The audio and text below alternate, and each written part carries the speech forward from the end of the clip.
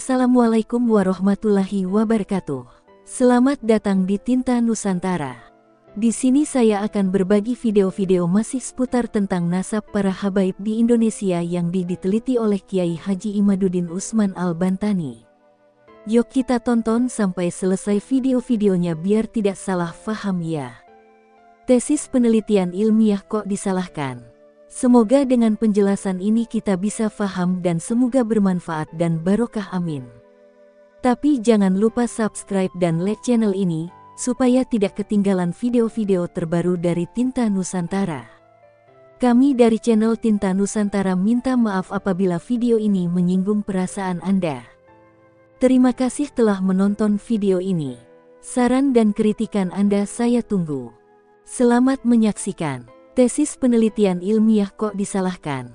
Ada sebagian pembela nasab Ba'alwi yang frustasi karena begitu sulitnya untuk menjawab sejumlah pertanyaan tentang keabsahan ketersambungannya dengan Nabi Sallallahu Alaihi Wasallam. Mereka pun mulai menebar narasi sesat berlogika seperti Sedikit anjuran sebelum urus nasab orang apalagi sampai berani membatalkan, sebaiknya urus nasab sendiri. Semoga Anda termasuk orang yang selamat. Ketahuilah bahwa, meneliti dan membatalkan nasab orang lain kalau ketemu bukti dan saksi pakar, kalau demi melindungi hak orang lain yang banyak dirugikan dengan dasar klaim suatu nasab, maka boleh dan bahkan fardu kifayah sebagai amar maruf nahi munkar menafikan suatu nasab yang terbukti palsu. Kalau suatu pengakuan nasab seseorang tidak merugikan orang lain, baru tidak boleh takzib nasab dan tidak perlu diurus. Tapi kalau pengakuan nasab jadi latar belakang kesombongan dan kemungkaran, maka justru kalau ketemu bukti dan saksi, nasab tersebut wajib dinafikan dalam rangka menolak kemungkaran. Yang kalau hanya diam terhadap kemungkaran dengan penolakan hati saja, sudah adalah selemah lemahnya iman. Ini masalah nasab yang disambungkan dengan nasab suriat kanjeng Nabi Sallallahu Alaihi Wasallam bukan urusan nasab pribadi perorangan. Jadi wajar kalau yang mengaku umatnya Nabi Sallallahu Alaihi Wasallam ikut membela nasab Nabi Sallallahu Alaihi Wasallam agar tidak dihinakan. Lalu salahnya di mana? Mau nasab kita seperti apa yang kita permasalahkan adalah nasab Ba'alawi yang konon kabarnya mereka mengaku-ngaku sebagai zuriat Nabi Sallallahu Alaihi Wasallam dan Ahlul Baiti yang harus mereka buktikan secara ilmiah. Ketertolakan nasabnya klan Ba'alawi KETERTOLAKAN nasabnya klan Ba'alawi. Ba'alawi yang kita kenal di Indonesia dengan istilah Habib mengaku sebagai keturunan Nabi Muhammad Sallallahu Alaihi Wasallam melalui jalur Ahmad bin Isa bin Muhammad An-Nakib bin Ali Al-Uraibi Jafar Sodik bin Muhammad Al-Bakir bin Ali Zainal Abidin bin Hussein bin Fatimah Zahra bin Kanjeng Nabi Besar Muhammad Sallallahu Alaihi Wasallam. Klaim nasab Ba'alawi Ahmad bin Isa ini titik poinnya dari sini yang diakui.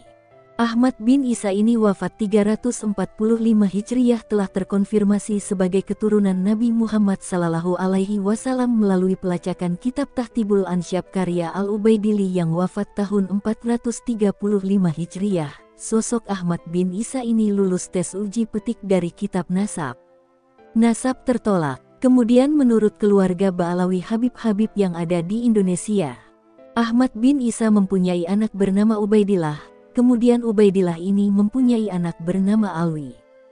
Alwi inilah yang menurut keluarga Ba'alawi adalah luhur mereka, Alawi bin Ubaidillah bin Ahmad bin Isa bin Muhammad An-Nahib Ali Al-Uraidi bin Japar Sodik, Muhammad Al-Bahir bin Ali Zainal Abidin bin Hussein bin Fatimah bin Nabi besar Muhammad Sallallahu Alaihi Wasallam. Ini nasab mereka, dan kita bisa lihat dari tokoh-tokoh mereka yang senang majang-majang nasab di media sosial. Semuanya akan bermuara kepada seseorang yang bernama Alwi yang disebut sebagai anak Ubaidillah. Ubaidillah ini adalah katanya anak Ahmad bin Isa. Ahmad bin Isa telah sahih sebagai keturunan Nabi selesai atau lulus uji petik dari kitab-kitab yang ada pada zamannya yang primer atau yang sekunder. Tetapi, Apakah betul seorang yang bernama Ahmad bin Isa ini mempunyai anak bernama Ubaidillah, namun nasab ini tertolak? Saya senang kalau menulis bikin kesimpulan dulu biar orang itu tidak apa namanya mengira-ngira. Karena urutan nasab seperti ini baru muncul dalam kitab keluarga Balawi setelah 550 tahun pasca wafatnya Ahmad bin Isa, Tadi kita kenal wafatnya 345 sedangkan kitab-kitab nasab yang paling dekat dengan masa hidupnya Ahmad bin Isa yaitu kitab nasab yang ditulis di abad kelima tidak menyebutkan bahwa Ahmad bin Isa tidak mempunyai anak bernama Ubaidillah. Mulai dari kitab abad kelima ke-6 ke minus 7 ke 8 tidak menyebutkan Ahmad bin Isa mempunyai seorang anak yang namanya Ubaid atau Ubaidillah. Kitab abad kelima tidak menyebutkan Ahmad bin Isa mempunyai anak bernama Ubaidillah. Kitab abad kelima, Muntakilatut Tolibiyah karya Abu Ismail Ibrahim bin Nasir Ibnu Toba Toba, wafat 400-an Hijriyah, menyebutkan bahwa sebagian anak Ahmad bin Isa adalah Muhammad yang tinggal di kota Roy. Ada keturunan Abu Tolib bernama Muhammad bin Ahmad an-Nafat bin Isa bin Muhammad al-Akbar bin Ali al-Uraidi. Keturunannya, Muhammad bin Ahmad ada tiga, Muhammad, Ali dan Husain. Tidak ada Ubaid atau Ubaidillah. Kitab abad kelima. Kitab Tahsibul Ansab wa Nihayatul Alkab yang dikarang Al-Ubaidili yang wafat pada tahun 437 Hijriyah atau abad kelima Hijriyah bertepatan dengan tahun 1044. Menyebutkan pula bahwa sebagian anak Ahmad bin Isa adalah Muhammad. Kitab abad kelima. Kitab Al-Majdi fi Ansabitoli bin karya Sayyid Syarif Najmuddin Ali bin Muhammad Al-Umri An-Nasabah, wafat 490 ketika menerangkan tentang keturunan Isa bin Muhammad An-Nakib ia menyebutkan bahwa keturunan dari Ahmad Al-Abah bin Isa ada di Baghdad yaitu dari Al-Hasan Abu Muhammad Ad-Dalal Al-Dawri bin Muhammad bin Ali bin Muhammad bin Ahmad bin Isa. Sama seperti Al-Ubaidili, Al-Umri tidak menyebut nama Ubaidillah dan Alawi sebagai anak dan cucu dari Ahmad bin Isa mengatakan, dan Ahmad Abul Qasim Al-Abah yang dikenal dengan Al-Nafat, karena ia berdagang minyak nafat, sejenis minyak tanah ia mempunyai keturunan di Baghdad dari Al-Hasan Abu Muhammad Ad-Dalal Al-Dawri di Baghdad. Aku melihatnya wafat di akhir umurnya di Baghdad. Ia anak dari Muhammad bin Ali bin Muhammad bin Ahmad bin Isa bin Muhammad An-Nakib bin Ali Al-Uraidi. Al-Majdi fi Ansabitolibin, Al-Umri, Maktabah Ayatullah Usma Al-Marashi, tahun 1442 halaman 337. Kitab abad kelima sepakat tidak menyebutkan bahwa Ubaidillah sebagai anak Ahmad bin Isa. Namun masih ada kesempatan kitab-kitab abad kelima tersebut masih membuka masuknya nama lain dari anak-anak Ahmad bin Isa karena kalimat yang dipakai adalah kalimat yang tidak menunjukkan makna terbatas atau haser menggunakan kalimat sebagian dari anaknya adalah Muhammad. Kitab abad yang dapat terlacak ada dan sudah dicipta abad kelima. Tiga ini sepakat bahwa tidak ada anak Ahmad bin Isa bernama Ubaidillah. Kitab abad ke-6 Kitab abad ke-6 As-Syajarah Al-Mubarakah yang ditulis tahun 597 Hijriyah karya Imam Al-Fahru Razi, wafat 604 Hijriyah, menyatakan, Adapun Ahmad Al-Ab maka anaknya yang berketurunan ada tiga, Muhammad Abu Jafar yang berada di kota Roy, Ali yang berada di Ramallah, dan Husain yang keturunannya ada di Naisaburi.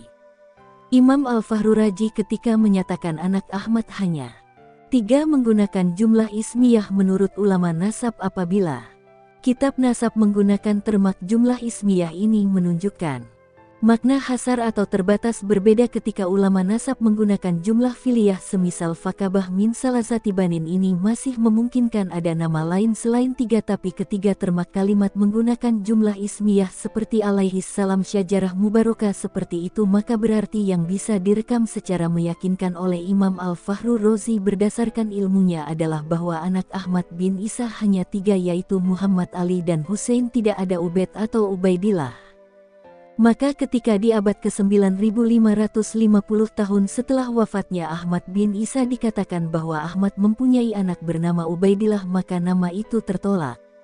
Lalu dari mana Imam Fahru Raji mengetahui tiga ini tanpa adanya referensi yang disebutkan dalam kitab alaihi salam sajarah mubarakah inilah yang dikritisi oleh Rumel Abbas misalnya dan yang lain sebagainya Imam Fahru Rozi saudara ketika menyebut anak Ahmad bin Isa hanya terbatas pada tiga saja ini sangat bisa dipercaya kenapa karena ia tinggal di kota Roy di Iran sedangkan di Roy banyak anak keturunan Ahmad bin Isa dari jalur Muhammad bin Ahmad bin Isa.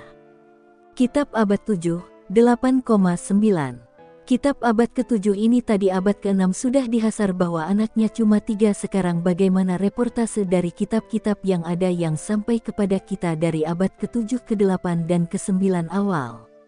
Kitab abad ke-7 sebagai Kitab Al-Fahri fi Ansabi Talibin karya Azizuddin Abu Talib Ismail bin Husain Al-Marwazi, wafat 614 mengatakan, sebagian dari mereka keturunan Isa An-Nakib adalah Abu Jafar Al-A'ma, yang buta Muhammad bin Ali bin Muhammad bin Ali bin Muhammad bin Ahmad Al-Abah. Ia punya anak di Basrah dan saudaranya di Al-Jabal di kota Kum. Ia punya anak. Al-Fahri Fian Sa'abi Tolibin, Sayyid Azizuddin Abu Tolib Ismail bin Husain Al-Mawarzi, Tahkik Sayyid Mahdi Ar-Rojai, halaman 30. Not, tidak menyebutkan nama Ubaidillah sebagai anak Ahmad bin Isa hanya menyebutkan sebagian anak Ahmad bin Isa adalah Muhammad.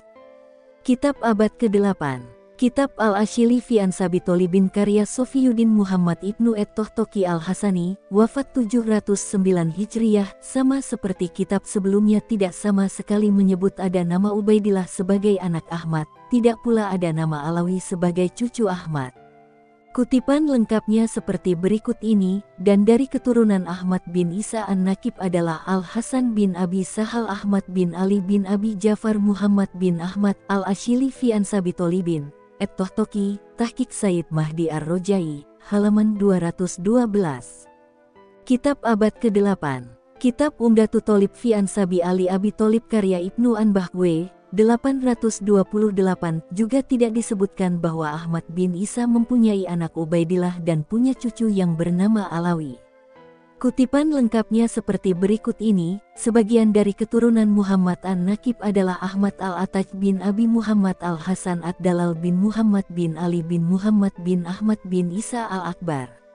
Umdatu Tolib fi Ansabi Ali Abi Tolib, Ibnu Anbah, halaman 225. Kitab Abad 9 Kitab Umdatu Tolib fi Ansabi Ali Abi Tolib karya Ibnu Anbah, wafat 828, juga tidak disebutkan bahwa Ahmad bin Isa mempunyai anak Ubaidillah dan punya cucu yang bernama Alawi. Kutipan lengkapnya seperti berikut ini, sebagian dari keturunan Muhammad An-Nakib adalah Ahmad Al-Ataj bin Abi Muhammad Al-Hasan Ad-Dalal bin Muhammad bin Ali bin Muhammad bin Ahmad bin Isa Al-Akbar. Umdatu Tolib fi Ansabi Ali Abi Tolib, Ibnu Anbah, halaman 225. Maka ada delapan kitab nasab yang sudah saya sebutkan yang membentang mulai dari abad ke-5 ke-6 ke-7 ke-8 dan ke-9 awal, sepakat bahwa Ahmad bin Isa tidak mempunyai anak bernama Ubaidillah dan di abad ke-6 sudah dihasar bahwa anak Ahmad bin Isa hanya tiga maka masuknya nama Ubaidillah sebagai anak Ahmad bin Isa tidak bisa dianggap sah. Kapan muncul nama Ubaidillah sebagai anak Ahmad bin Isa? Kapan muncul nama Ubaidillah sebagai anak Ahmad bin Isa? Ubaidillah muncul sebagai anak Ahmad bin Isa pada abad 9 Hijriyah dimunculkan oleh Habib Ali bin Abu Bakar Asakran yang wafat 895 Hijriyah dalam kitabnya Al-Burqoh Al-Musikoh dengan menghusnuzoni. Nama Abdullah yang ada pada As-Suluk sebagai Ubaidillah ceritanya ada kitab sejarah yang menyebutkan sebuah silsilah dari seorang ahli hadith yang bernama Ali Abu Hasan Ali bin Muhammad terus binnya kemudian dia bin Abdullah bin Ahmad bin Isa. Lalu kata keluarga Hababib ini oh saya punya leluhur namanya Ubed. Mungkin Ubed ini adalah Abdullah. Maka kemudian diurutlah nasabnya dengan menghusnuzoni nama leluhurnya Ubed ini. Sebenarnya namanya adalah Abdullah yang kemudian ditakdir menjadi Ubaidullah.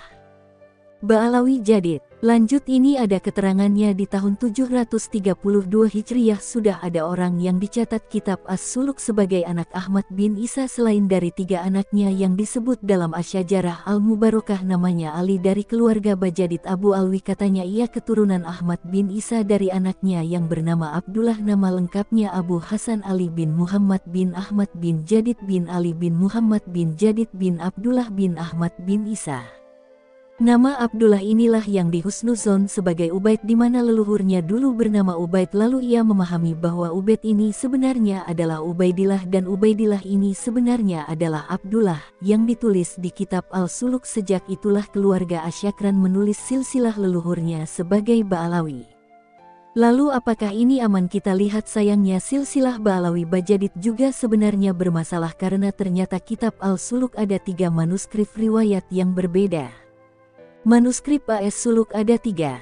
Jadi manuskrip As-Suluk yang dikarang 732 sampai ke Ali Asakran 895 yang nyampe ke beliau hanya salah satu manuskrip yang dicetak daripada tiga manuskrip sebenarnya yang ada, yang mana yang benar walahu yang jelas, sebuah dalil apabila telah masuk di dalamnya ada kemungkinan iktimal yang tidak koti maka dia tidak boleh dijadikan lagi sebagai dalil.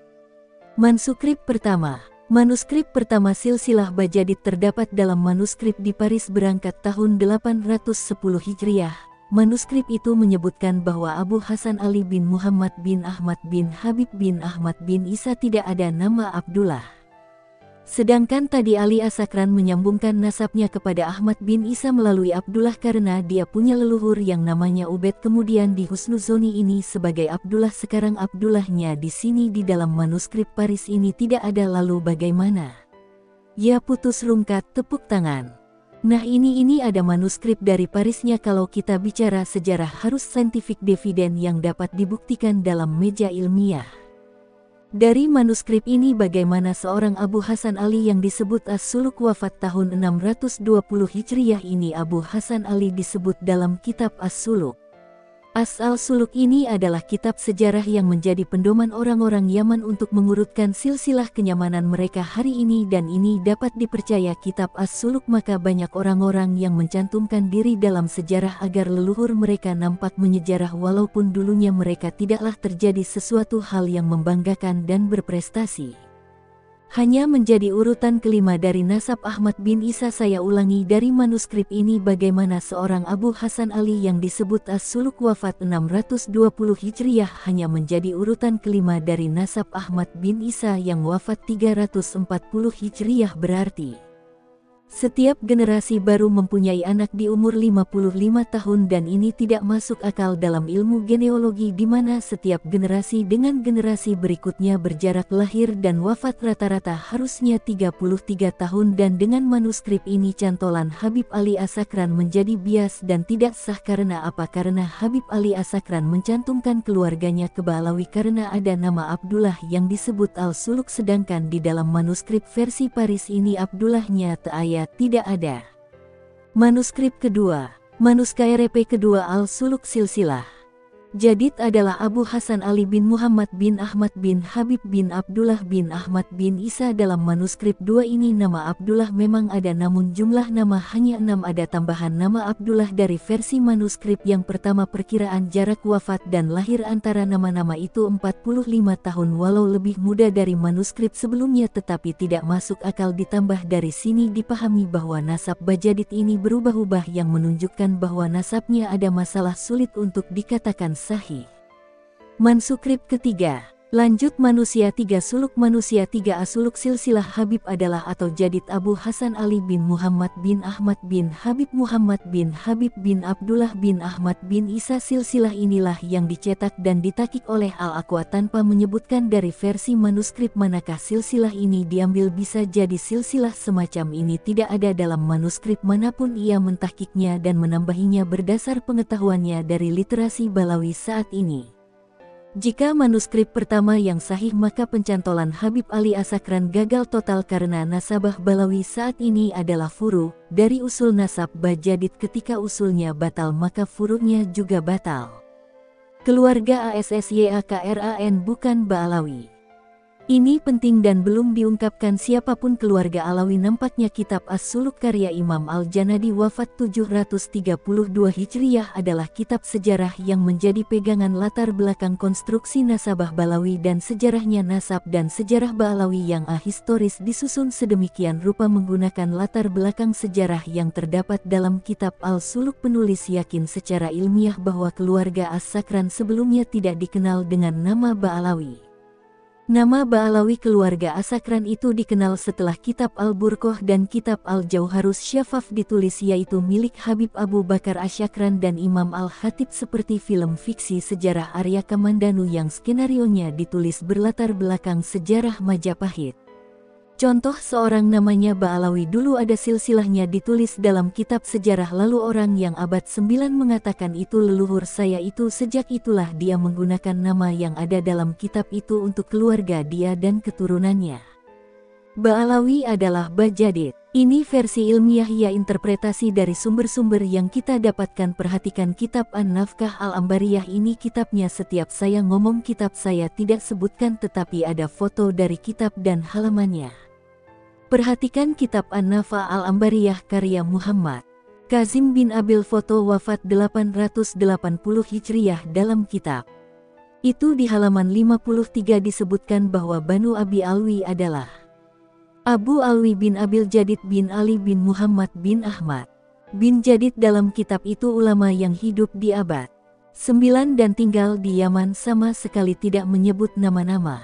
Keluarga ahli as-sakran yang ada pada masa itu atau sebelumnya seperti Fakih Muhodam Muhammad Sahih Mirdad sebagai Ba'alawi ia hanya menyebut keluarga Jadid padahal pengarang kitab An-Nafah Al-Ambariyah ini hidup semasa dengan Ali As-Sakran kalau pada masa itu dan sebelumnya keluarga Habib Ali Askaran dikenal sebagai Habib Ba'alawi tentunya Muhammad Katsim akan menulis contoh-contoh Ba'alawi selain dari Jadid yaitu dokter keluarga Fakih Mukadam dan sebagainya. Ini membuktikan bahwa keluarga Ba'alawi yang terkenal itu hanyalah dari keluarga Jadid keluarga Ali Asakran dan leluhurnya sebelumnya bukan keluarga Balawi.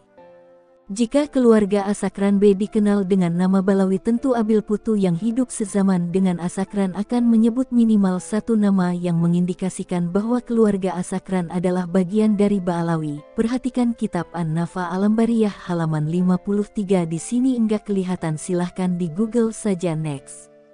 Asakaran hanya bisa menyebut dua nama keluarga Jadid. Habib Ali As-Sakran yang mengatakan bahwa Jadid yang ada dalam kitab sejarah itu adalah saudara dari Alwi leluhur dia. Hanya bisa menyebutkan dua nama keluarga Jadid, dua. Nama itu persis sama dengan yang disebut kitab As-Suluk, yaitu Abu Hasan Ali dan Abdul Malik yang berketurunan.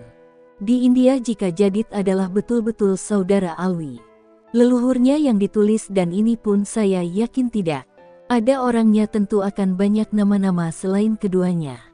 Yang diketahui Ali Asakran tapi mengapa Asakran seperti orang asing di keluarga Bajadid hanya mengetahui dua nama dari keluarga Bajadid yang diketahui dari kitab suluk yang bukan hanya diketahui oleh dia kita juga mengetahui bahwa keluarga Jadid mempunyai dua nama yang tertulis dalam sejarah yaitu Abu Hasan Ali dan Abdul Malik. Apa bedanya saya dengan dia? Sama-sama apa namanya? Mempunyai dua nama saja padahal dia mengaku sebagai keluarga besarnya. Silakan.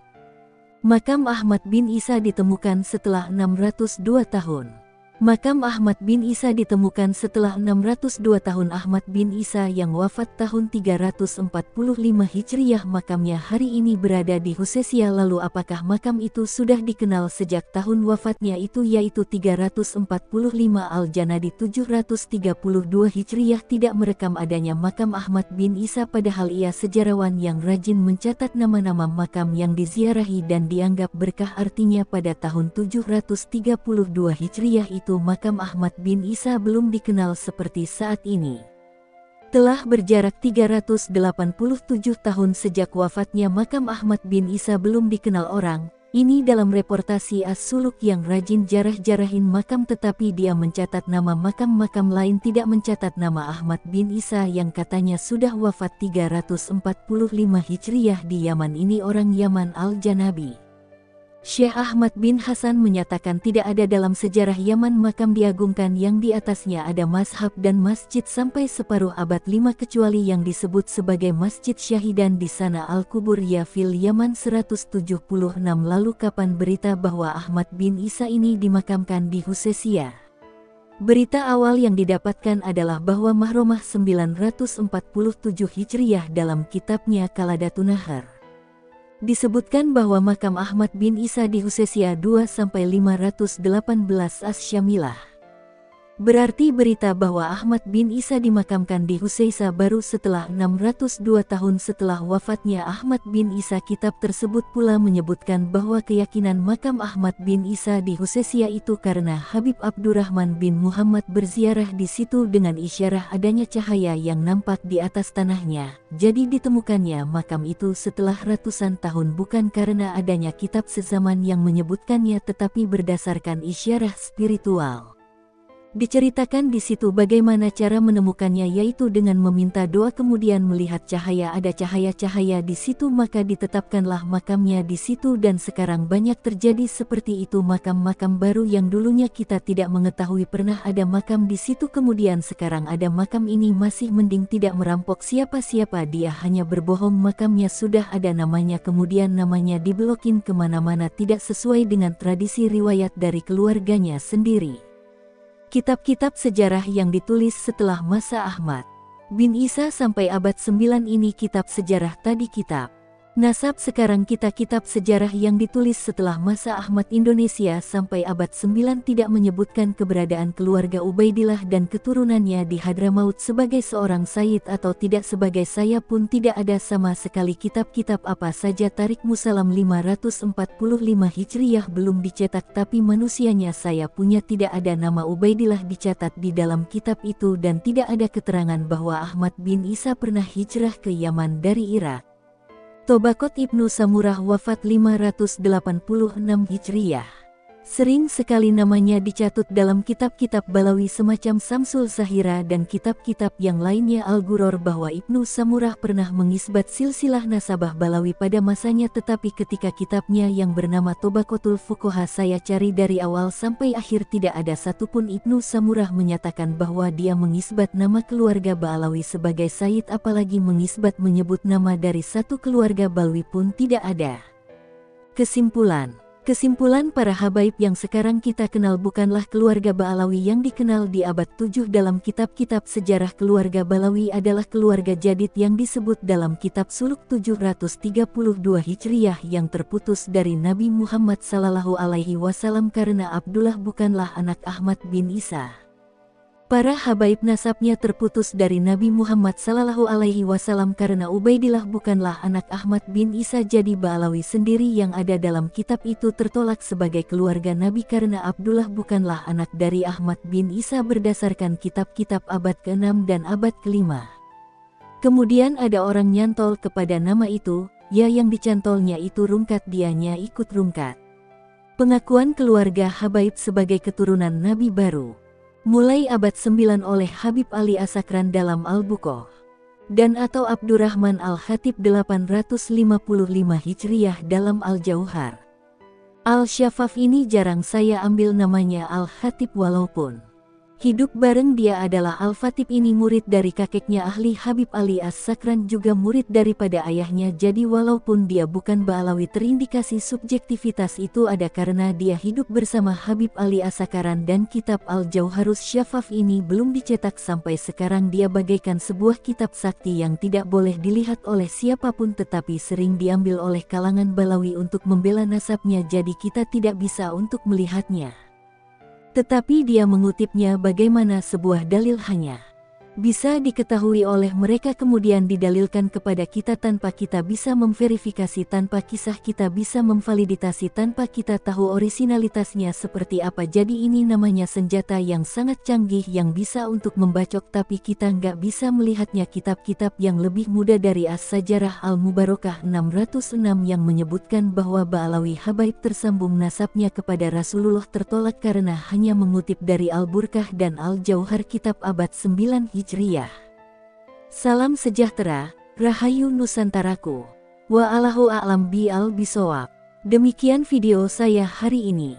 Semoga bermanfaat untuk teman-teman semua.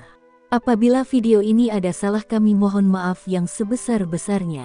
Komentar dan saran Anda saya tunggu.